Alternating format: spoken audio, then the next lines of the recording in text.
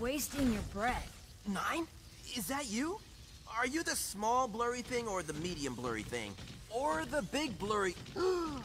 Amy? Amy! All right, now we're getting somewhere. Got a key? Negative. My identification is Rusty Rose.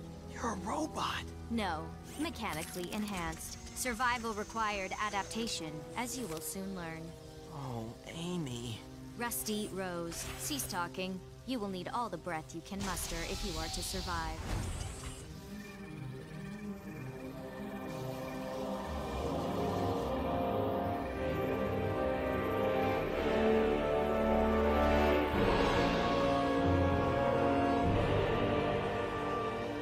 More silhouettes? Who does your lighting? The Chaos Council. Dr. Done-It. I'm awake, I'm awake. Go on, you were saying. Dr. Deep. The philosophical ramifications of this discovery rock my very core. Dr. Don't. Whatevs. And you have already met the baby, Dr. Babble. That is the angriest baby I've ever met. And finally, Mr. Dr. Eggman. Oh, so that's who you were talking about. By the dumbfounded look in your eyes, I gather you've come to grips with the gravity of your situation. The council? Looks like an Eggman family reunion.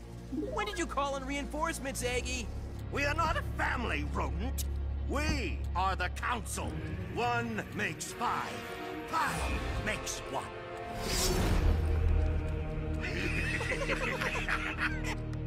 Oh, so many Eggmans, so many questions. Does anyone have an aspirin? How could you not know? We're famous.